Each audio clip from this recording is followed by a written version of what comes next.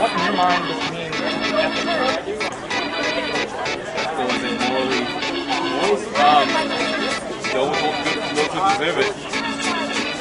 It's uh, great sorrow, great responsibility. But it is rare now to find a major news organization owned by an individual, someone who can say, in effect, the buck stops here.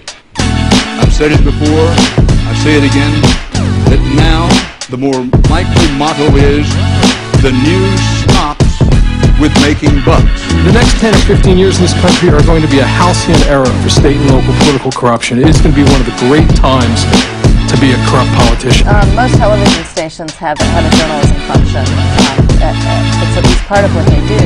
And at the core of that journalism function is telling the truth. Yet these stations are getting rich off of ads that distort the truth. And so, so there, there's an inherent um, cognitive dissonance. Growing questions of mainstream media bias now after CNN cut ties with interim DNC chairwoman Donna Brazile.